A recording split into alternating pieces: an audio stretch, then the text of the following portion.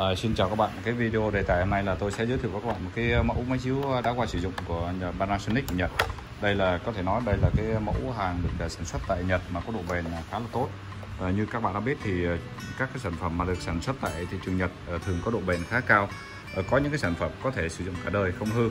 Thì cái mẫu máy chiếu này là PTLB50S EA dòng này có cường độ sáng 2000 lumen và độ phân giải là phân, phân giải SVGA về cơ bản thì con này có thiết kế cái à, vỏ màu xám bạc à, trông rất là sạch. Cái vỏ thì nó à, nó cũng không còn được mới lắm. Tuy nhiên thì vỏ này là vỏ chống chống chống trầy, chống bám dấu vân tay.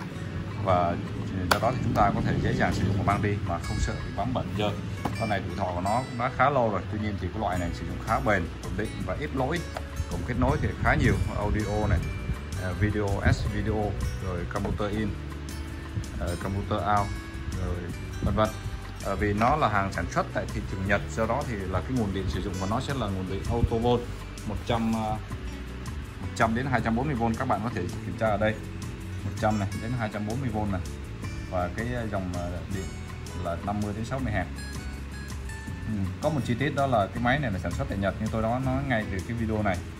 À, nó có ghi rõ ràng xuất xứ là made in Japan này nếu chúng ta chỉ xét về thông số kỹ thuật thì đúng là thông số kỹ thuật của con à, Vana LV50 này không có gì thú vị cả. Độ sáng thì cũng dạng thuộc dạng bình thường chỉ 2000 lumen và độ phân giải cũng là dạng độ phân giải bình thường SVGA và tuy nhiên à, thực tế mà nói, máy à, sử dụng cái công nghệ 3 LCD chính hãng của Panasonic và các cái tấm LCD này được sản xuất tại thị trường Nhật, do đó thì chất lượng hình ảnh thể hiện khá ok. Hình ảnh có cái độ tươi màu tốt, rõ đẹp, mặc dù tôi đang chiếu lên một cái màn hình khá lớn, tuy nhiên chúng ta vẫn cảm nhận được cái chất lượng hình ảnh lên khá là ok vì máy có nhiều cổng kết nối cho nên chúng ta có thể dễ dàng kết nối bất cứ thiết bị chơi game nào như là PS4 ờ, PC laptop, rồi các cái đồ Android box. Vân vân, chúng ta có thể chơi game rồi xem phim ờ, thậm chí là có thể dùng một cái con ờ, Panasonic lb50 này để chúng ta thuyết trình dạy học và sử dụng ở văn phòng công ty, vân vân. Rất nhiều những mục đích sử dụng khác nhau hầu hết các cái dòng máy chiếu mà được sản xuất tại thị trường Nhật nói chung thì có độ bền tốt, định cao và linh kiện thay thế, đặc biệt là đối với Panasonic thì à, linh kiện thay thế nó khá phổ biến. Chúng ta sau này chúng ta có thể dễ dàng chúng ta vệ sinh, bảo trì hoặc là thay bóng hoặc là nâng cấp, thay thế bất cứ linh kiện gì gần như là đều có sẵn để chúng ta thay thế.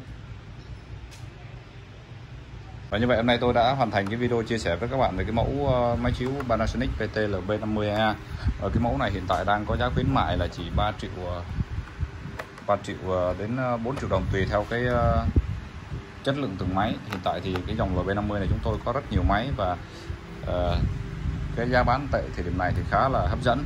Thì uh, thông thường uh, cái giá thì thời điểm chung thì trung bình nó dao động khoảng từ 5 triệu đến 6 triệu một con. Tuy nhiên thời điểm này giá nó khá rẻ và đặc biệt là có khuyến mại tặng kèm màn chiếu và miễn phí lắp đặt luôn. Các bạn có thể truy cập trang web là máy chú cũ.com để xem thêm thông tin về sản phẩm cũng như là được tư vấn và hỗ trợ thêm. Cảm ơn các bạn đã cùng tôi trải nghiệm video về máy chiếu này.